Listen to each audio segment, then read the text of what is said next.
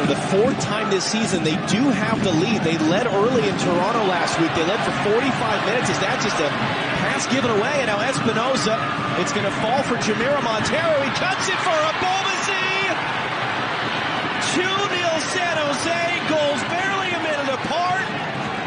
And yes, it is MLS After Dark chaos in the California Clasico.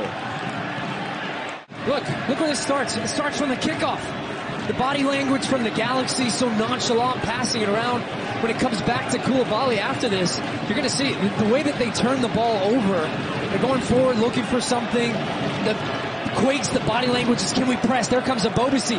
That pass there, here comes Espinoza and he actually underhits this one.